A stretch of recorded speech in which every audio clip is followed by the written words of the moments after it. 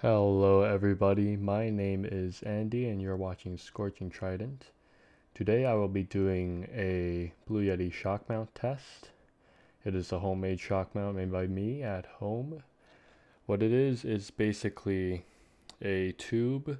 Here I have a macadamia container that I have poked a few holes in, inserted nails, and used those nails to hold rubber bands in place that act as the rubber bands that hold the shock mount in place. On the top I have soft foam that is held in place by a hair elastic. Uh, it kind of acts as a windscreen shock mount and I think it also slightly cancels out a bit of the computer fan noise that I have. The entire thing is sitting on top of a hard foam uh, stand that used to be that uh, my power supply came in. And this serves a dual purpose.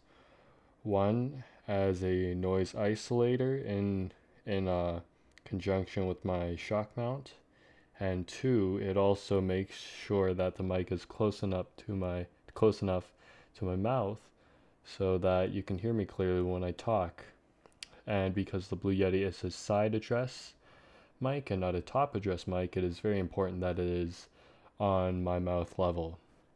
The test that I designed was pretty much having the mic sit at a place where it would be if I were to normally speak into it while at my computer.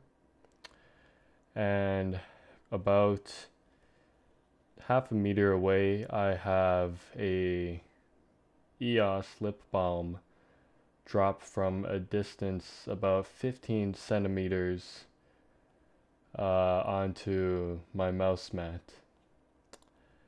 And I feel this tests the shock mount in a way such that no shock mount would be very obvious and the difference a shock mount makes would be made very clear.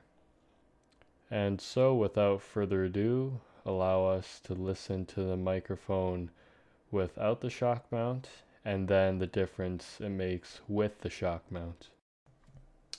This is a test of the Blue Yeti microphone without the shock mount with the lip balm dropping from a height of about 15 centimeters. Test 1.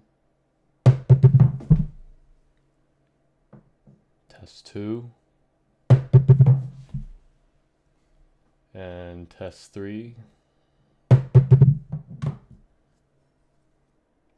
This is a test of the Blue Yeti microphone with the shock mount on top of the hard foam uh, with the microphone wrapped in soft foam uh, with the lip balm dropping from a height above 15 centimeters. Test 1. Test 2. And test 3. And as you can tell, the shock mount modification made a great difference to the sound. And in case you thought the first one was better, allow me to show you a, a, a uh, visual representation of the side-by-side -side comparisons between shock mount and no shock mount. As you can see, the no shock mount, there was a lot of spikes in the noise that actually went off the charts and that would allow for maybe some tearing in certain places of audio. Whereas with the shock mount, the uh, all of the all of the tests uh, resulted in in sounds that were within manageable range, and it canceled out a lot of the lower uh, frequencies. And so as you can see, this modified shock mount setup works extremely well. So if you want to build one by yourself, it's extremely simple. Once again, it is simply a tube that is slightly bigger than your Blue Yeti mic or any mic really. Uh, drill a few holes into it. Remember to leave a hole at the back for the cord.